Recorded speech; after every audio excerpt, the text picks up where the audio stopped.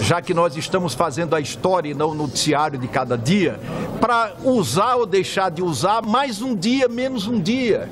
Nós ficaríamos muito mal na história se quiséssemos atropelar a defesa ou a própria acusação, ganhando ou perdendo mais um dia. Eu não me presto a cumprir esse papel.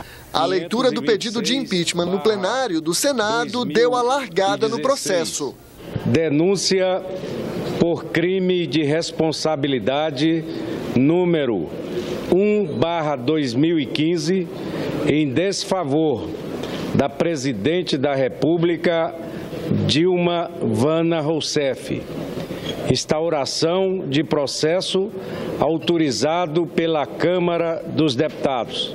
Líderes da oposição questionaram o calendário divulgado pelo presidente do Senado.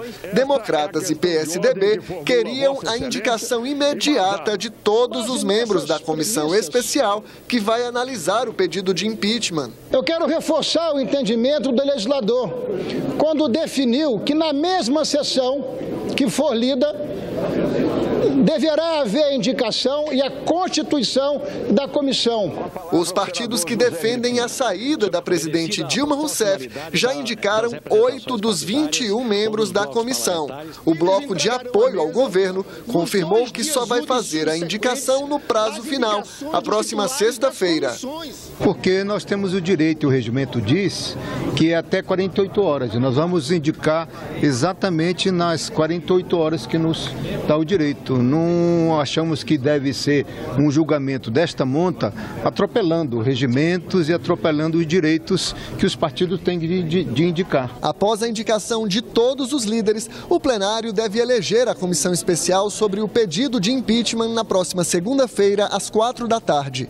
A partir daí, o colegiado tem 48 horas para escolher o presidente e o relator e 10 dias para apresentar um parecer sobre se o pedido de impeachment deve ou não ser admitido no Senado.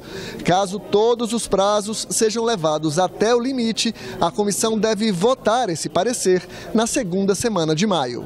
O senador Renan Calheiros anunciou que, caso o processo seja admitido pelo plenário, a partir daí a direção dos trabalhos ficará por conta do presidente do Supremo Tribunal Federal, ministro Ricardo Lewandowski. Até a sessão que vai votar a admissibilidade ou a inadmissibilidade, as questões serão resolvidas pelo presidente.